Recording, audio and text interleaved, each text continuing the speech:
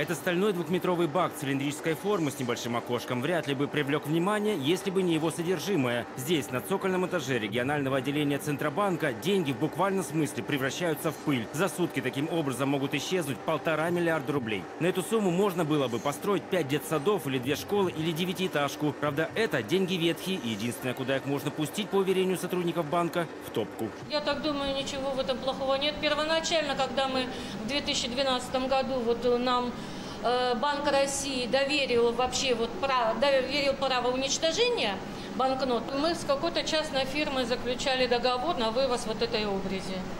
Вот. Что они там дальше делали с ней, я не скажу, не знаю. Ветхость купюры определяет вот эта специальная машина. Сегодня таковых не оказалось, поэтому банкноты двигаются дальше. Сначала на проверку подлинности, если все в порядке, то после в паяльный автомат, где 10 пачек запаковывают в пакет. Всем процессом управляет один человек, кассир-операционист, как правило, женщина. Инга за рабочую смену таким образом запаковывает до 300 пачек, не считая пересчета сотни килограммов мелочи. Признается, к концу дня не чувствует рук. Женщина должна всегда оставаться женщиной, независимо от того, кем она работает. Руки ухоженные.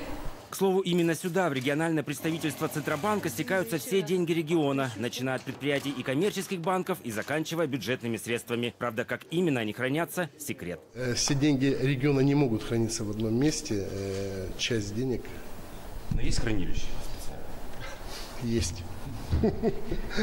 Возможность увидеть работу Центробанка своими глазами у жителей Красноярска появилась впервые. День открытых дверей здесь организовали по случаю выпуска новых купюр номиналом 200 и 2000 рублей. Сейчас идет голосование за город, который будет на них изображен. Отдать свой голос можно до 7 октября. Что же касается экскурсий, то теперь они будут проходить ежегодно. К слову, по ее окончании каждый посетитель получает по 300-граммовому брикету из ветхих денег. Если перевести их в денежный эквивалент, то это от 150 тысяч до полутора миллионов рублей. Станислав Карпович, Эдуард Баглай, Афонтова. Новости области.